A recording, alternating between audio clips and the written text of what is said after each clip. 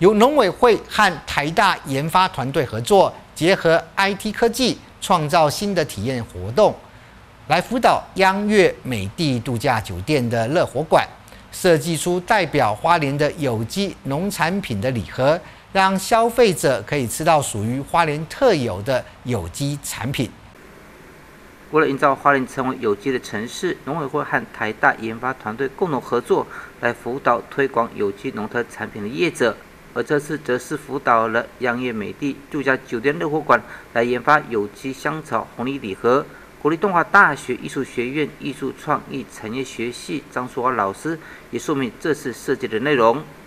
既然这些生态喜欢的，代表它也是适合人们和共同来生活体验的一个重要的处所。所以这次我们大概可以比较重点去打造，从一个生态地景的角度去。隐喻出说，这边背后有个很强浓烈的一种人文的精神，人文的努力在这里。而我们这次没有特别直接把这个产品呢，就把比如说食物呢，就直接把大拉的放进去。我们需要有更多一种生活想象的空间。它是一个做，是一个在品茶的过程中，享受着这个香草呃梨棒的过程中呢，就可以感受到是一个美丽风景的再次的咀嚼。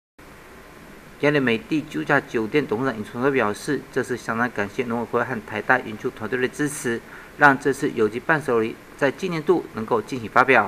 呃，这次的新发表的这个我们的这个产品叫香草有礼，就是藜麦的藜啊。那香草有礼的这个新的产品是针对呃，我们用香草。以及红梨做成的一个香草茶跟红梨酥棒的一个组合，就是要用来代表我们花莲的一个有机产品的一个代表性的一个产新产品。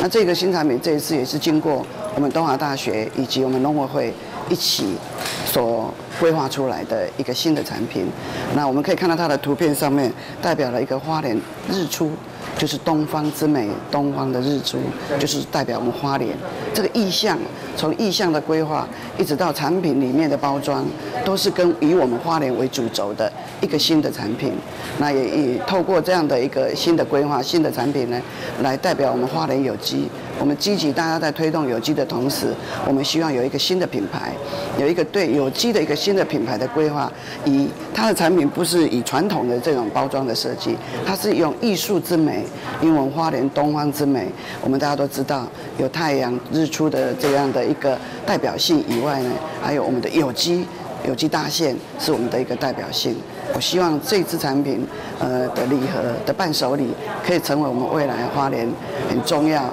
具有代表性的一个伴手礼。所以特别呃今天呢做了这样的一个产品的一个简单的发表。那也农委会呢跟我们东华大学张教授一起呢也来为我们这支产品。所开发的一个设计上的一个主轴，也来跟大家来分享。